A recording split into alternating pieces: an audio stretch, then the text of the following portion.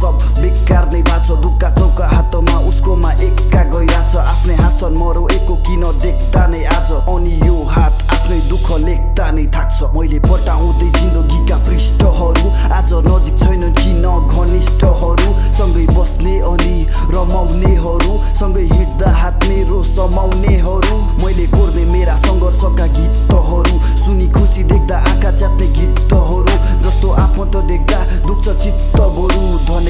मेरो साथ हुने मित्रहरू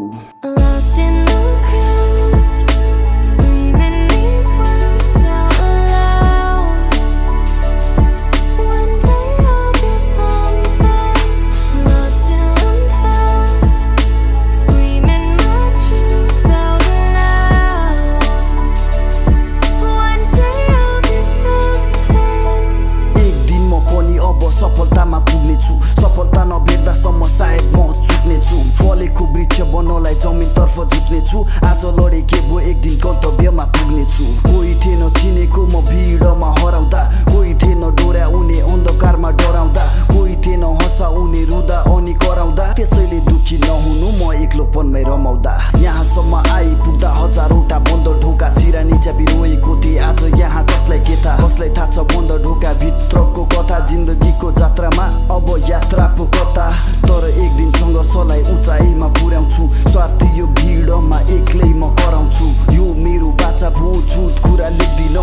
प्रतीक्षामा छु अवश्य आउने छ मेरो एक दिन